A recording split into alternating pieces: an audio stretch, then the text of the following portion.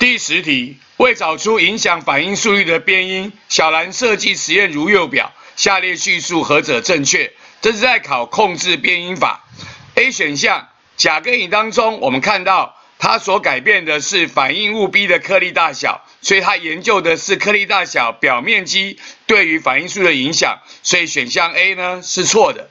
我们 B 选项甲跟丁，它的确有改变我们反应物 A 的浓度，但它的温度也不一样。这种同时改变两个变因，不符合我们控制变因法的做法。同时，我们也无法了解改影响反应速率的是浓度还是温度，所以选项 B 呢也是错的。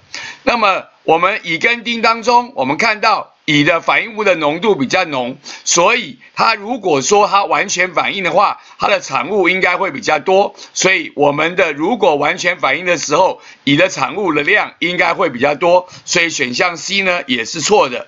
而丙跟丁，我们只改变了温度，所以我们研究的是温度对于我们反应速率的影响，所以选项猪呢是对的。所以第十题问我们说，下列叙述何者正确？我们答案选的是猪，有丙丁可观察温度对反应速率的影响。